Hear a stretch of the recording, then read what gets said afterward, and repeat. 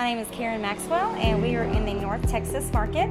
And the main thing that I learned this week is that um, my CEO and I are not in line in our vision. Therefore, we can't be in line with our strategies.